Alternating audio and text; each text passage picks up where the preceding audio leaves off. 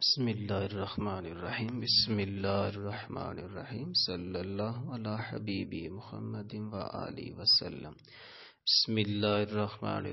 सल्लल्लाहु अला हबीबी मुहम्मदिन व आलि वसल्लम। सल्लल्लाहु अला हबीबी मुहम्मदिन व आलि वसल्लम। बिस्मिल्लाहिर्रहमानिर्रहीम। असलकम वरहमतुल्लाहि वबरकातुह अल्हम्दुलिल्लाह रब्बिल आलमीन अल्लाह सुब्हान व का बेहद करम बेहद फजल बेहद शुक्र जिन्होंने मौका और तोफीक अता फरमाई ज़िंदगी की बेशुमार नेमतें अता फरमाई अल्लाह सुबहान व तआला के फजल करम से बात बनी हुई है मालिक सब की बात हमेशा बनाए रखें अल्लाह के महबूब सल्लल्लाहु अलैहि वसल्लम मदीना मुनवरा में जब तशरीफ़ लाए। तो मस्जिद नबी के मुतसिल ही आपने अजवाज मतहरात के लिए हजरे भी बनवाए। इस वक्त हज़रत बीबी सौदा और हज़रत आयशा रदी अल्लाह तहा निकाह में थी। इसलिए दो ही मकान बनवाए। जब दूसरी अजवाज मतहरात आती गई तो दूसरे मकानात बनते गए। ये मकानात भी बहुत ही सादगी के साथ बनाए गए थे। दस दस हाथ लंबे और छह छह सात सात हाथ चौड़े कच्ची ईंटों की दीवारें। खजूरों की पत्तियों की छत, वो भी इतनी नीचे के आदमी खड़ा होकर छत छू लेता। दरवाजों में कवाड़ भी न थे, कंबल या टाट के पर्दे पड़े रहते थे। ये दो जहाँ के ताजदार इमामुल अंबिया शहनशाह कोनो मकां के हुजरे जिनके हाथों में तमाम जहानों की कुंजियाँ हैं, जिनके एक इशारे से मदीना मुनवरा के तमाम पहाड़ सोने हो जाए, ज़मीन सोने की बन जाए, मगर आपकी सादगी पे कुर्बान जाए। अल्लाह अकबर। यह है शहनशाह कुल आलम, सल्लल्लाहु ताला अलैहि वसल्लम का वो कशान नबूवत, जिसकी आस्ताना बोसी और दरबानी कोई आम नहीं। इस्लाम के लिए सरमाया सादत और बायस इफ्तार थी। अल्लाह अल्लाह, वो शहनशाह कोने जिसको खाल के कैनात ने अपना मेहमान बनाकर अरश आज़म पर मसनद नशीन बनाया और जिसके सर पर अपनी महबूबियत का ताज पहनाकर ज़मीन के खजानों की कुंजियाँ जिसके हाथों में अता फरमा दी और जिसको कैनात आलम में हर एक चीज़ में तसरफात का मुख्तार बना दिया, जिसके ज़ुबान का हर फरमान कुन की कुंजी, जिसकी निगाह करम के एक इशारे ने इन लोगों को जिनके हाथों में ऊंटों की महार रहती थी, इन्हें अकवाम आलम की किस्मत की लगामता फरमा दी। वो ताजदार रसालत, जो सुल्तान दारेन और शहनशाह कोनैन है। कि हरम सरा का ये आलम है कि ए सूरज बोल ए जान बता। तुम दोनों ने इस ज़मीन की बेशुमार चक्कर लगाए मगर क्या तुम्हारी आँखों ने ऐसी सादगी का कोई मंजर कभी भी और कहीं भी देखा। अल्लाह के महबूब सल्लल्लाहु अलैहि वसल्लम ने इतने सादा अपने हुजरे तमीर करवाए। आप सल्लल्लाहु अलैहि वसल्लम फरमाते हैं कि ये दुनिया एक मुसाफिर खाना है। वो शहनशाह होकर और आज गुलाम देखिए, कहाँ से कहाँ क्या से क्या हो रहा है। महाजरीन जो अपना सब कुछ मक्का मुकरमा में छोड़कर मदीना मुनवरा चले गए थे, इन लोगों की सुकूनत के लिए भी हजूर सल्लल्लाहु अलैहि वसल्लम ने मस्जिद नबवी के कुर्ब जवारी में इंतज़ाम फरमाया। अंसार ने बहुत बड़ी कुर्बानी दी कि नहायत फराह दिली के साथ अपने महाजर भाइयों के लिए अपने मकानात और ज़मीनें दी और मकानों की तमीरत में हर किस्म की इमदाद बहम पहुंचाई, जिससे माजरीन की आबादकारी में बड़ी सहूलत होगी।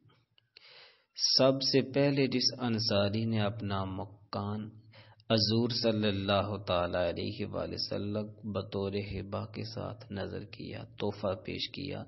उस खुश नसीब का नाम हज़रत हारसा बिन नुमान है। चुनाचे अजवाज मुदहरात के मकानात हज़रत हारसा बिन नुमान ही की ज़मीन पर बनाए गए। रदी अल्लाह हज़रत बीबी आयशा सदीका रदी अल्लाह तहा का हजूर सल्लल्लाहु अलैहि वसल्लम से निकाह तो हिजरत से कबल ही मक्का मुकरमा में हो चुका था, मगर उनकी रुस्ती हिजरत के पहले ही साल मदीना मनवरा में हुई।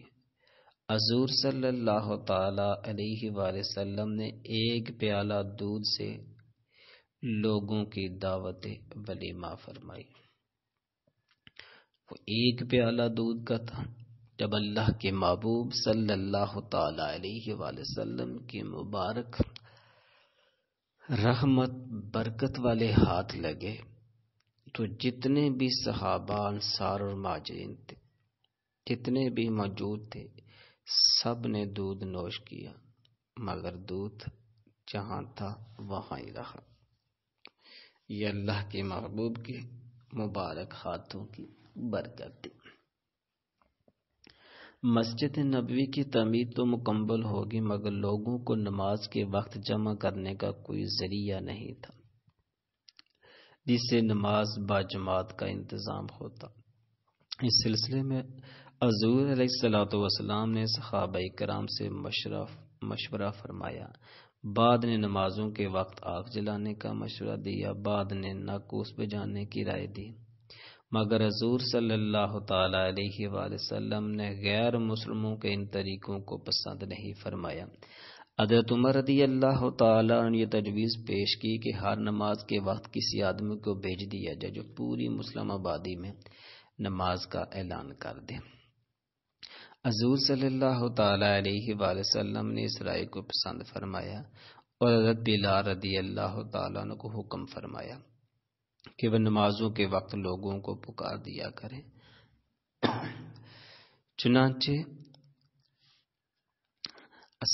तो जामिया, कहकर पाँचों नमाजों के वक्त ऐलान करते थे। इसी दरमियान में एक सहाबी हज़रत अब्दुल्ला बिन जैद अंसारी रदी अल्लाह ने ख्वाब में देखा कि अजान शहरी के अल्फाज कोई सुना रहा है। इसके बाद हजूर सल्लल्लाहु हज़रत उमर रदी अल्लाह तु सहाबों को भी इसी किस्म के ख्वाब नज़र आए।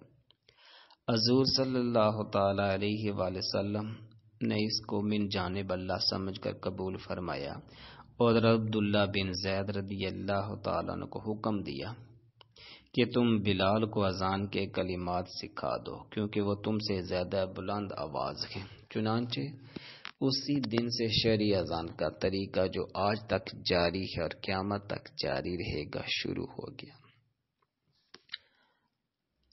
अल्लाह के महबूब सल्लल्लाहु अलैहि वसल्लम की। ये सुन्नत मुबारक है। आपने ज़िंदगी में जो भी काम किया गुलामों के लिए वो सुन्नत है।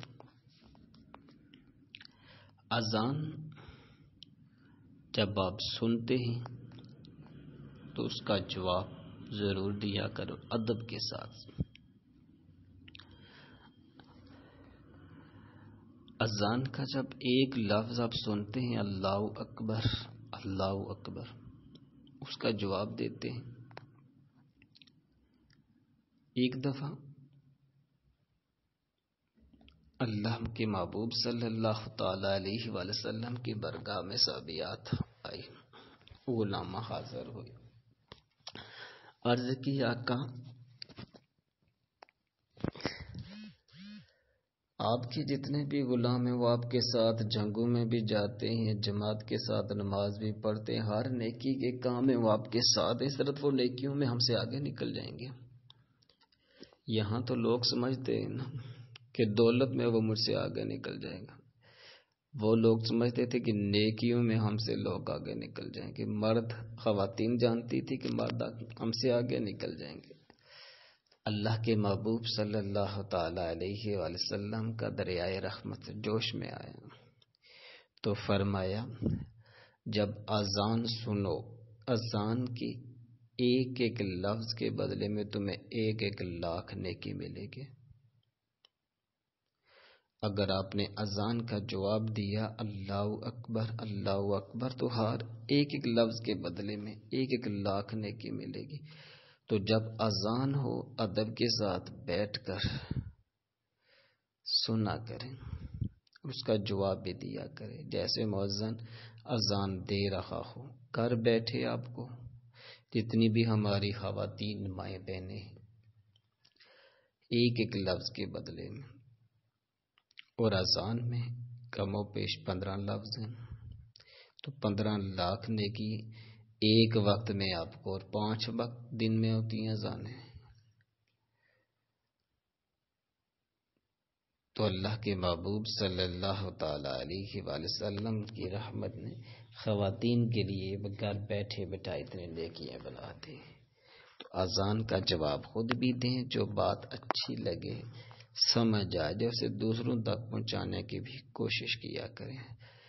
तमाम दोस्त आगे इस पैगाम को ज़रूर शेयर किया करें, ताकि किसी ने भी सुन लिया और अमल शुरू किया तो उसका सवाब आपको हमेशा के लिए मिलता रहेगा। अपना, अपने चाहने वालों का और अपने आसपास रहने वालों का ख़ास ख्याल रखिए। अस्सलाम वालेकुम वरहमतुल्लाहि वबरकातुहू।